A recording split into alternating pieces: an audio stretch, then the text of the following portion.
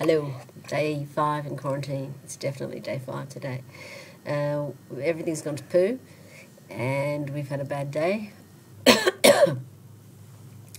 because I've been super sick. It's just a head cold, kid's head cold. I'm not feeling so bad now, but this morning, uh, um, yeah, difficult to stay awake and really tired and weak. But feeling better now, and the kids are better, getting better, much better. So we got to go out into the sunshine. And that was lovely. And then I had to work for four hours this evening, which was very difficult. And I had to leave the kids kind of basically watching TV and raiding the cupboards. So I think for dinner that you had crisps and um, biscuits. Can you not pick your nose, please, on camera? Thank you. Did you raid the chocolate? No. Good girl.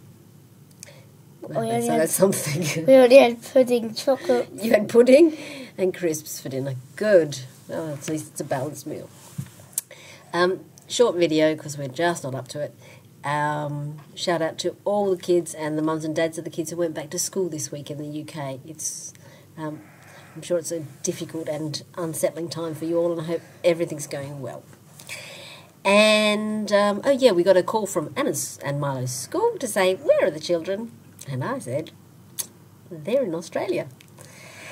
So, um, and I did inform them, but I don't know if I'm supposed to do something else. But hey, they can't find me because I'm not there.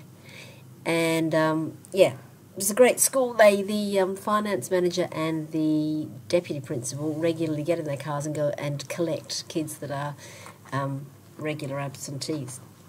So, Kay, Amy, if you fancy a drive, come on out to Australia and correct, collect them. They're ready for you. They're waiting. you can have them. Uh, Milo's asleep. Anna was asleep and she's now woken up. And she's now going back to bed. Night, night. Say night, night.